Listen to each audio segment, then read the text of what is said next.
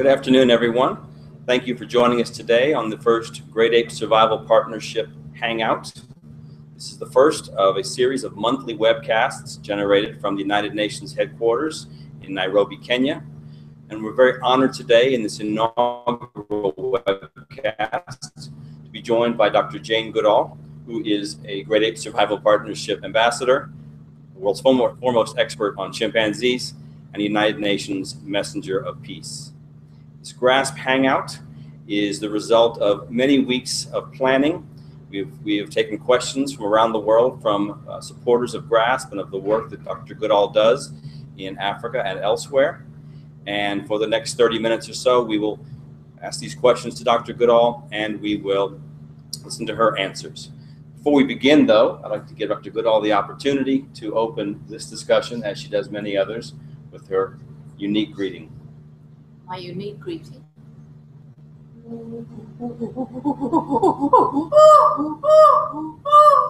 Very important this time since behind us, the chimpanzee, my study subject, is not represented. Yes, that is true. We, we have many apes behind us, and for those who are not aware, over my left shoulder is bonobo. In the center is an orangutan, and hovering over Dr. Goodall is a gorilla. He's looming over He's me. looming over you. Yes, he is. well, thank you very much for joining us today in Nairobi, Dr. Goodall. And I would like to begin the questions with some general ones, frankly, that you have spent now over 50 years working in research and conservation of chimpanzees and great apes. And I'm curious what you would regard today as the greatest threats to the long-term survival of these incredible species. Well, you know, it depends really which country they're in. One of the major threats everywhere is deforestation and loss of habitat. And then, particularly in Africa, it's the bushmeat trade, the commercial hunting of wild animals for food, including apes, and there is still killing of mothers to steal infants for selling in the live animal trade. Also, many of the chimpanzees and other apes get caught with wire snares around their wrist or foot. These are snares set by, by poachers for capturing antelopes, pigs, and so forth. There's also a risk of disease because these apes are so like us that they can catch uh, human diseases. And so as we push further and further into the forest, there is this risk of disease. It's well known that you spend over 300 days a year traveling and speaking and advocating for the protection of great apes and their habitat around the world. But that's not how you began. And it certainly is not what you probably intended in 1960 when you began your research. What changed and what brought you into this world of advocacy? What changed was when I realized during a conference in America when for the first time we got all the different people studying chimpanzees together. Hadn't happened before. And it was to talk about the, the similarities and differences of chimpanzee behavior in different areas of their range and look for cultural differences in things like tool using, which we found.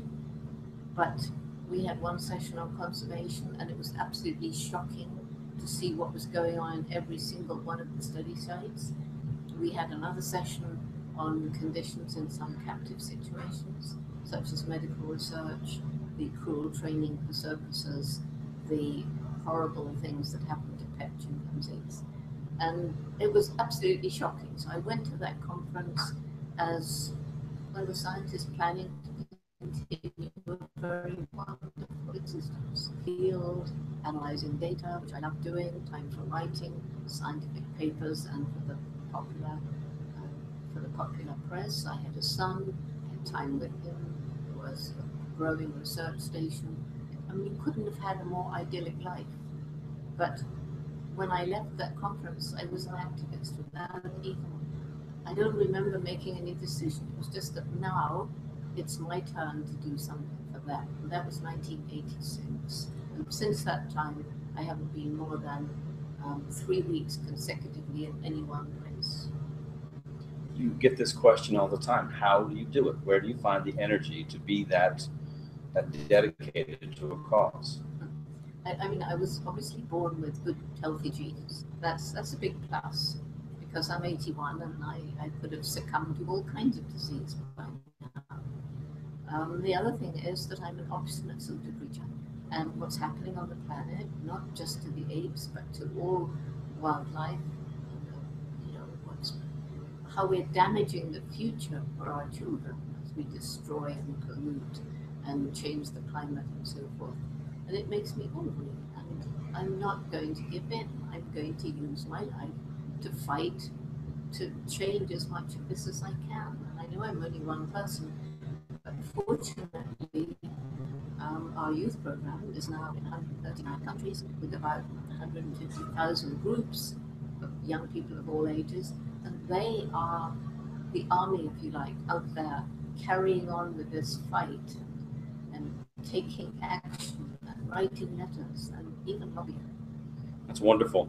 You spoke at uh, an event last night in Nairobi at the National Museum, and you mentioned that when you first came to Africa in 1960 to study chimpanzees, it just happened to be chimpanzees that you were you were given the opportunity to study. What was the greatest surprise you found in, in your studies about chimpanzees? What was the greatest shock or the greatest sort of um, I guess surprise is the word I'd use in that studies? Well, there were, there were two two different kinds of um, surprises, or, or, whatever you want to call it. Um, first was seeing a chimpanzee using and making a tool.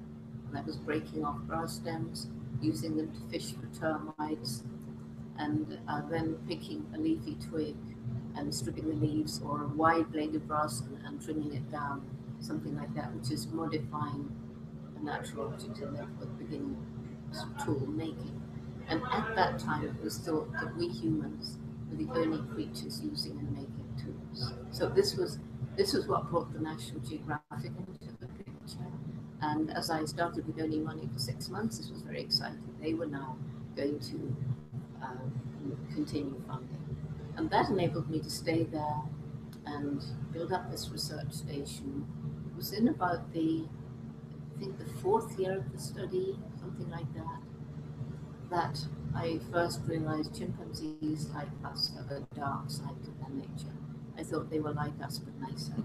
And to find that when males patrol the boundaries of their territory uh, and they see strangers from a neighboring community, they will attack. And very often the victim will die of wounds received. And there was a four year period when the males of a larger community systematically attacked and left to die all the individuals in the smaller neighboring community, except adolescents have yet given birth. Those ones they tried to recruit into their community to increase the gene pool. And does do discoveries like that uh, does that damage the possibilities for future research? Or did that actually propel it further and add momentum? Very unfortunate to say, but this discovery of the dark side chimpanzees made them seem even more like us than I had before. And it roused an enormous amount of interest. And the big controversy, you know, is this is this aggressive behavior innate or is it just in we humans?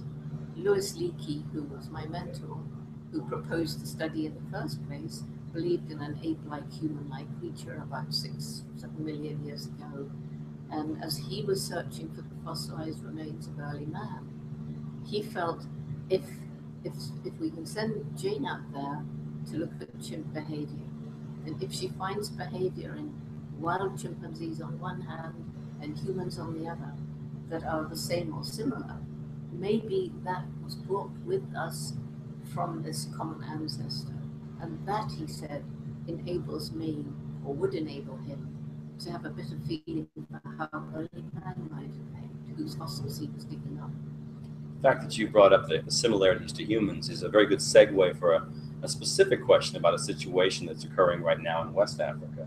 We've discussed this earlier between ourselves, but as you know, the New York Blood Center for many years conducted research on chimpanzees, captive chimpanzees, at the, the Vilab facility in Monrovia. And uh, after closing the facility, on March 5th of this year, they ceased funding to provide long term care for the chimpanzees, which 66 of which have been left on an island in the river just outside of Monrovia. That has caused a great deal of uh, controversy. It has certainly enraged activists, uh, as it should. It has uh, put the New York Blood Center in a very poor light, I would think. I'm curious to get your sense on the value, potential value, or otherwise, of chimpanzees in research and this particular case in Liberia. Let me start with the with the Liberia situation because I was aware of this right from the beginning. It was Dr. Fred Prince mm-hmm. who who actually had, as a, as a research scientist like that into medical research, he really had an ethical commitment to the chimps. And it was he who got them onto this island out of their cages. And there was a commitment made when the, uh, you know, at the time that the VILAB, the New York Blood Center, would look after the chimps in perpetuity for the rest of their lives. So that part I was familiar with. And then a terrible time during the Liberian Civil War when the chimps had to come off the island, many were eaten. And then they were put back on the island, and this last blow when the center said no more funding. Just like that. And to me, that's a moral offense because they had made a prior commitment and they had used these chimpanzees uh, with the hope of benefiting human health. In fact, it turns out that the medical research on chimpanzees, although people thought it was going to be tremendously helpful, actually wasn't very helpful. And the National Institutes of Health recently put a committee together, a medical committee, and they went around every single NIH funded research protocol and found that not one was benefiting human health. And so this is why they decided to close down uh, almost all the NIH chimp facilities, just keeping a few because there were scientists said, well, we might need. And, you know, I, I, I was knew quite well Bob Gallo started the HIV AIDS research. And at one time, in fact, this is why all the chimpanzee centers became filled with chimps, and there was a flurry of catching them from the wild before it was too late for HIV research. And it was soon after that that at a big AIDS conference, Bob Gallo, who had instigated the research on chimps, announced our research is now boxed in by inappropriate results from chimpanzees. And they were no longer useful for HIV AIDS research. So that must show an awfully dark side of human beings if we're willing to use a species so close to us. You spoke before about the dark side of chimpanzees. This must be the, the flip side of that for us. I think so. And you know, it, it's shown too that chimps can show love, compassion, and altruism, just like us. We both have the two, the dark and the and the more noble side. And I think, you know, right from the beginning, when I first began to the medical this 86 conference, I went and saw with my own eyes because you can't talk about something if you don't see it.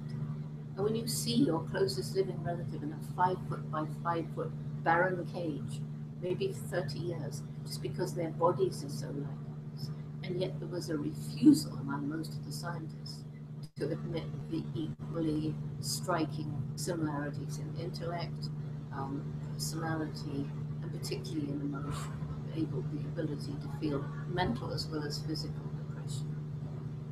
That must be very overwhelming. It's, uh, as we said, we've taken questions from around the world prior to going on the air with this webcast, and I wanted to go to one of the questions now, which does address some of the, the traits of, of apes. John Z. Vagnon from the US, his question is I'm fascinated by great ape language, including the controversial whispering bonobos from my left shoulder. Uh, he wants to know what your own experiences are in terms of ape language. Uh, and do you have any opinion on some of the abilities and communication capacity of bonobos, such as Kanzi, who I believe you've met, uh, one of the captive bonobos that's based in the United States? Well, my feeling always has been that the biggest difference between us and chimpanzees, am I looking at you or am I looking Camera. at the questioner? The Yes. question. Um, the, the fact that we have, our intellect has developed explosively. So chimpanzees are way more intelligent than we used to think, way more, as are many other animals. But, you know, we've, we built an aeroplane that's just all around the world without a drop of fuel, just on solar power. This is amazing. That's what we're capable of. And I feel that this is because we, and as far as we know, only we have developed the kind of language that enables us to talk about things that are present, that enables us to make plans for the distant future, distant future, that enables us to have discussions so that we can bring people from different walks of life together to try and solve some kind of problem. And so when we come to the apes, I know the research on chimpanzees more than I know about bonobos. Yes, I met Kanzi, and Kanzi had learned sign language, and it, it was thought that he was almost using human speech because where we would say uh, banana, he would say banana. Um, he would say ah ah ah. Um, but Kanzi did amazing things with a computer. The two chimpanzees I know best are in Japan. It's Ai and her son Ayumu. And Ai can do the most amazingly complicated uh, tasks using a computer. And her son Ayumu was never taught anything, just watched his mother doing her tasks. And he's now better than she is. And his, his visual memory is such that people have gone from all over the world to try and beat him. So if you have two screens with numbers here, random, every time you put the thing on, the numbers are random, zero to nine. And over here it's blank, just blank squares. Before I have looked at this and even got 0, 1, 2, where they are, he's already starting. The moment you start here, that disappears. So nobody knows how he does it. Um, so, you know, the, the, the chimp definitely has cognitive abilities that are extraordinary they haven't developed this ability to to communicate in the way that we do as far as we know. And that uh, that communication ability is something you've spoken about a great deal, not just in great apes, but parrots and other other species. Are we not listening, or are they not speaking our language? Well, uh, think you know one of my heroes was Dr. Doolittle. and Dr. Doolittle was taught all animal language by his parrot Polynesia oh, I so badly wanted a parrot. and I used to pretend I could understand all what the dogs and birds were saying and translate it to my friends. I, I think we're beginning to listen. I think we're beginning, I mean, the songs of the whales, the way that, uh, you know, the communication of birds and things, we're beginning to make sense of them.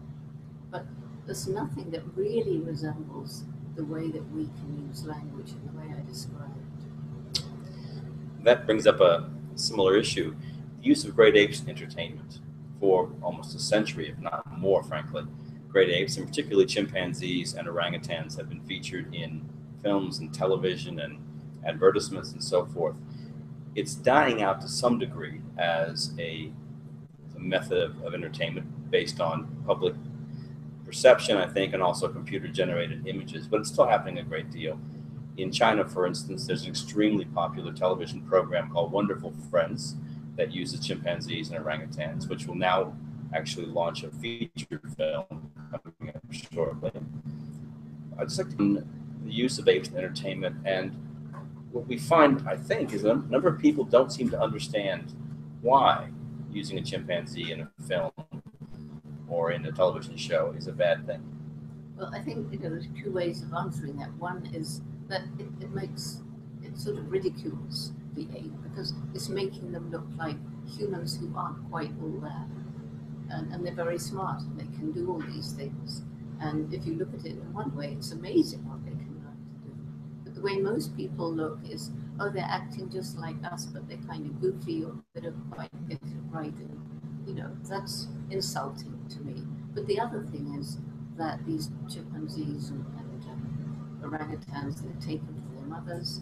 The training is harsh and cruel almost always. On the set, it's always argued on the set you have somebody from the Humane Society making sure they're not badly treated, but it's off the set, pre-training.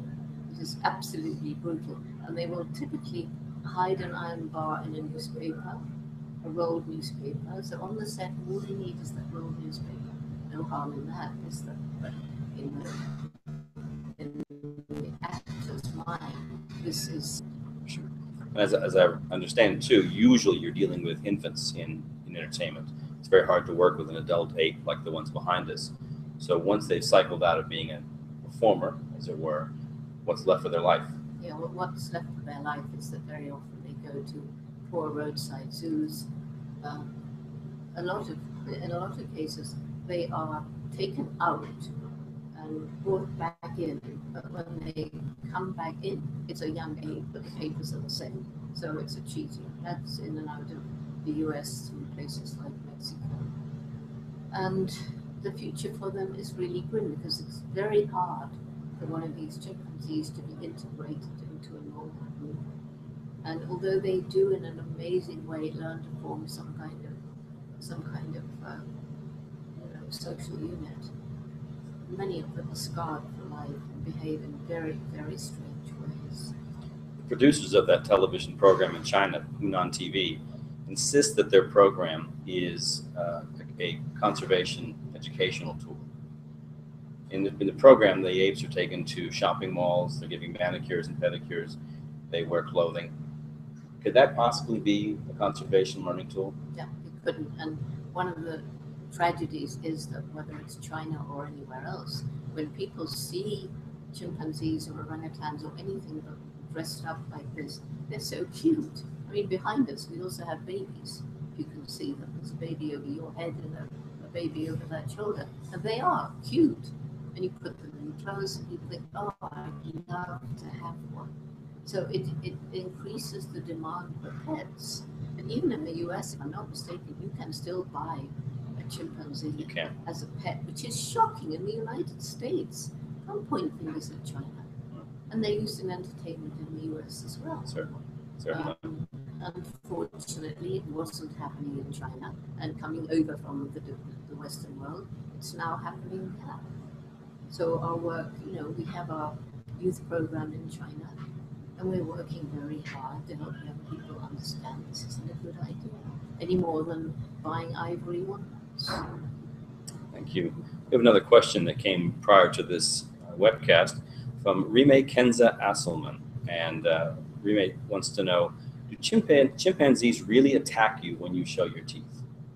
no, I don't know.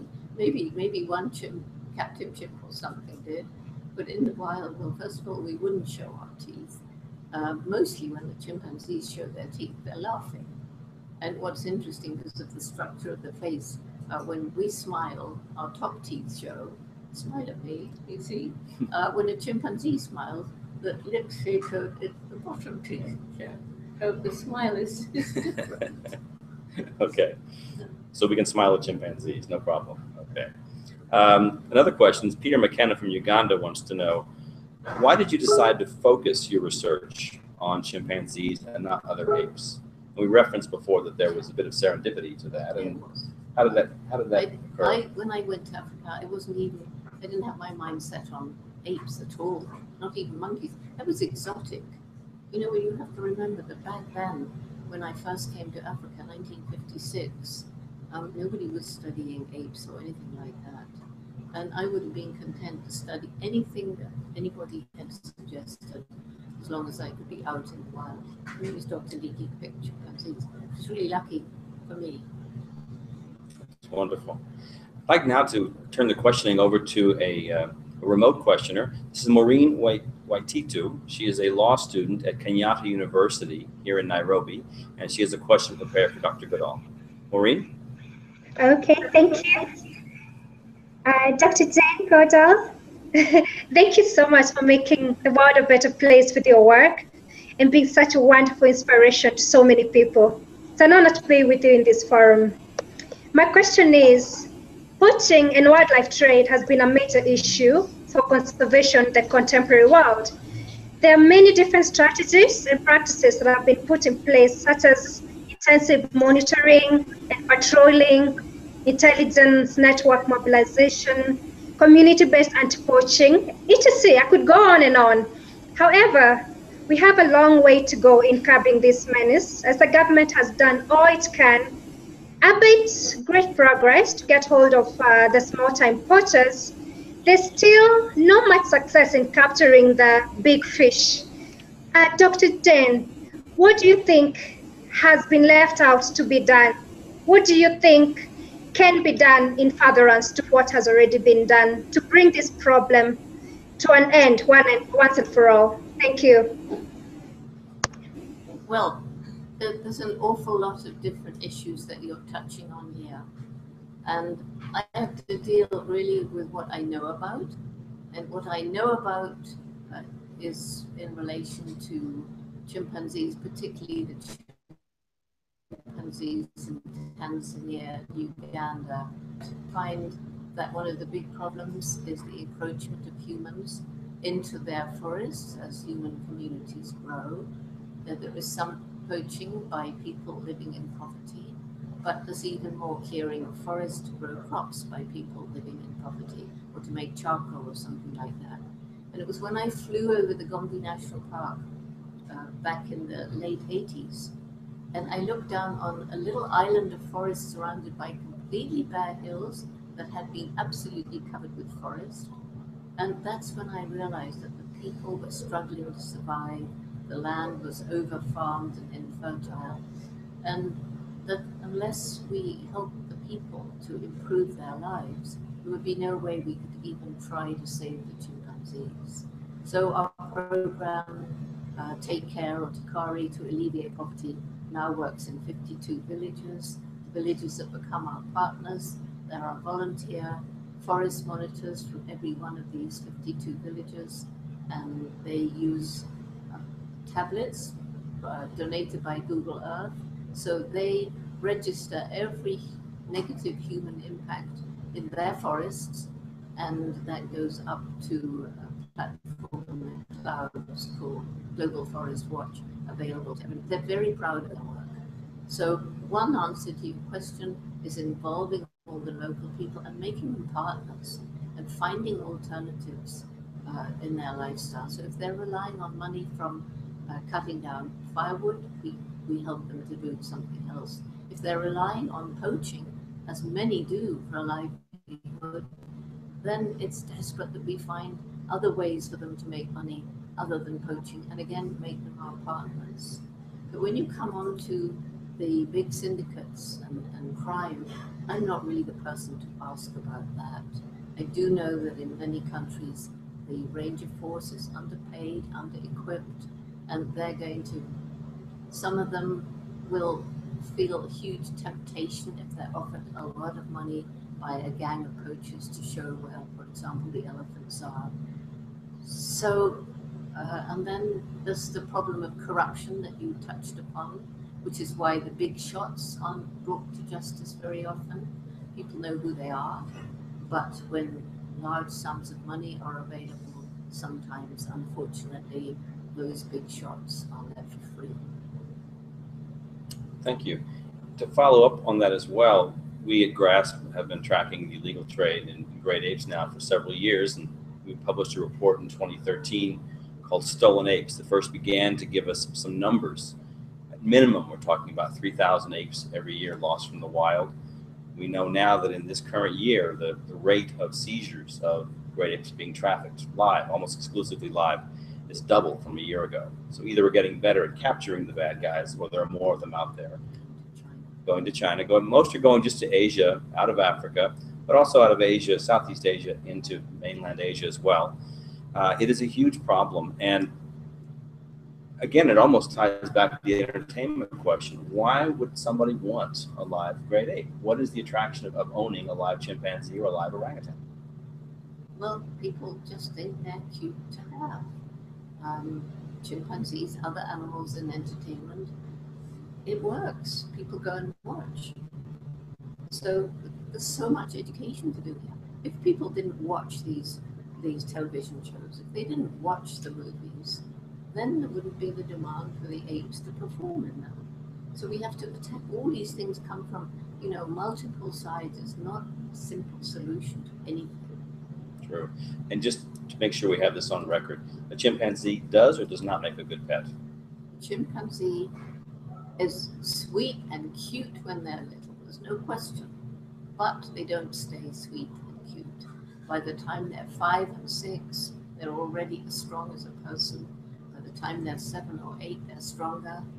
And the stories of what happens to these pets, uh, they're not pets, they're wild animals, and horrific tales of people being horribly mauled because chimpanzees can, can become very violent very suddenly. They, they fly into tempers, like temper tantrums, and especially when they're in a situation where they don't want to be. When they grow up, get older, they don't want to be a human child in a human house in human clothes. So they make extremely bad pets, and again, they can't be re-socialized very easily. Let's go to another question that was submitted prior to this webcast.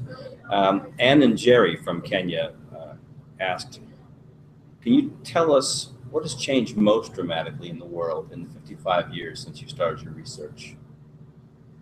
Well, I would say the number of us living on the planet is probably the biggest change.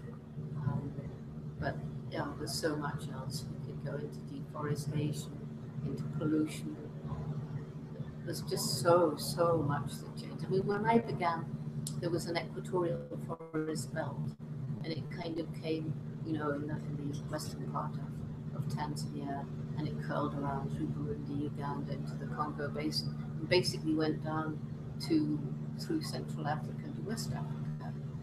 And not totally unbroken, but huge areas were unbroken. Now, increasingly small fragments of forest and you know that's a huge change too. But going back, the numbers of people, the the, the spread of consumer society, the fast food outlets, trying to make everything cheap and not bringing in when you count the cost of an object that you buy, the the, the, the true cost, the environmental cost, and the damage to future generations you increasingly speak to those issues now, even though you may be the world's foremost expert on chimpanzees. Issues such as climate change and food security and air quality in your purview now. They, they are because once you start caring about the future, once you realize what we're doing to the planet, uh, you begin to find more and more things that that it's it's all interrelated. You can't take just one piece you can study one piece, but if you're actually talking about it, you need to interrelate it to all the other issues that are damaging the planet.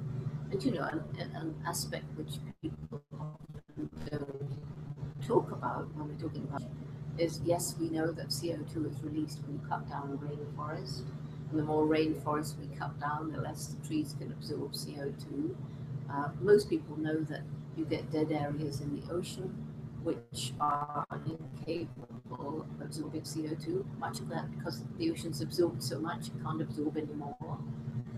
Um, you know, these things leading to climate change. But it's also the increasing consumption of meat around the world as communities, countries get more wealthy. And this is not only destroying huge areas of forest to grow the grain, to feed the livestock, or actually um, turning the cattle out into the woodlands, which increasingly become deserts due to overgrazing. But it's also the fact that uh, these animals produce gas during their digestion, we do too, and this gas is methane. And that's a more potent greenhouse gas than CO2. And, you know, so if, okay, so you don't care about the environment you don't care about the horrendous cruelty to the animals in these intensive farms. Never mind. Do you care about your health? And because the animals are kept in these awful conditions, they have to be fed antibiotics routinely, not because they're sick, but to keep them semi healthy. And these antibiotics getting out into the environment mean that the bacteria are becoming more and more resistant this is acknowledged by all of the big organizations around the world. And so people are dying from a cut on the finger. And over, it's maybe as much as 50% of all antibiotics, certainly in the UK, are given to livestock. And when you, I heard an interview the other day, and, and this man was told, well, you know, you feed your, your cattle this, these antibiotics, and it's it's leading to resistance. People are dying. And the guy said, Yes, I know I can't help it, I have to use them to keep them alive, to feed people. You know, a, a good example of that as well is, is a commodity like palm oil, which is in half of every single uh, item on a supermarket shelf. And if you go to Southeast Asia, and I'm sure you have, and you fly over, you you see acres and miles and hectares of nothing but plantations, unsustainably developed. But how do you tell? And then it's worth pointing out that this development, these this this industry, really is a tremendous piece of the economy of countries such as Malaysia and Indonesia and Thailand and others. And moving into Africa Certainly moving and Latin America. Certainly. But how do you tell those countries that they don't have a right same economy and the same luxury items that we do? Well, it's the same thing. We have to find alternative ways for them to make money because what they are doing is destroying their own country for the future of their children. It's the same thing. Make money now, never mind the future. Make money now, destroy the environment. It doesn't matter, we'll be dead. And, and so it's all about this selfishness. And sometimes there's an excuse of poverty, no question. Sometimes there is no such excuse of poverty. It's keep more and more and more money and accumulating it. They can't take it with them when they die. And many of them don't even want to leave it to their children. All of this comes at the expense of the habitat great apes live in and, and often the species directly. Extinction is a word we throw around very casually sometimes in conservation. And there are some great populations and species that are closer to extinction than others. Do you believe extinction is something that will happen in your lifetime or the lifetime of those watching at home? Not in my lifetime. I mean, you know, I'm 81, so it can't possibly. You seem timeless. I'm not so sure about that. But, um, you know, local extinctions, yes. The, the apes will in locations. Uh, I, I have faith that we shall, with our youth movement and more and more people becoming more and more aware, along with the fact that the destruction of the forest is leading to climate change, all that that entails. And I think when we put all this together, the more value we can put on keeping the forests growing, the better. So even though REDD and REDD plus aren't the answer for, for the long-term future, if you can take money from the polluting companies and give it to the to the peasants to keep their forests growing, it's at least a temporary solution. And so I, I feel that we do have this intellect, we are using it uh, well in more and more instances. We will find a way because they mustn't become extinct. Not in my lifetime, not in your lifetime, not in my son or my grandchildren's lifetime. Because we won't let it happen, right? I agree with you 100%. Right. And that's a great place There's a good grasp. That's, thank you Clear very much for that. Well, there's a good. That's a good point to wrap up this this uh, GRASP hangout with one Grasp. last And grasp handout. handout. Okay, uh, one last question that is, is a good is a good exit question from uh, Grace Igunda in Kenya, and she says, "When do you plan to retire? And when you retire, who's going to fill your shoes?" Well, first of all, I shall go on doing what I'm doing as long as I can. I have no retirement plans. Uh, my body will give out at some point, or I may drop down dead. You know, we don't know, do we, what's going to happen. And who's going to step into my shoes? We have young leaders around the world, growing number of young people who get it. I don't know that anybody will step into my shoes. I've spent 80 years developing all these different ways, but I'm totally confident there are those out there who can fill the shoes in the, along the different paths that those shoes have moved. Great. Well, thank you very much. Thank you, Dr. Goodall, for joining us today on this inaugural GRASP Hangout. We will come back again next month and the months after that with a regular series of GRASP Hangout conversations with experts uh, from the field. For those of you who watched at home, thank you for joining us and we look forward to seeing you again next month. Thank you. Bye.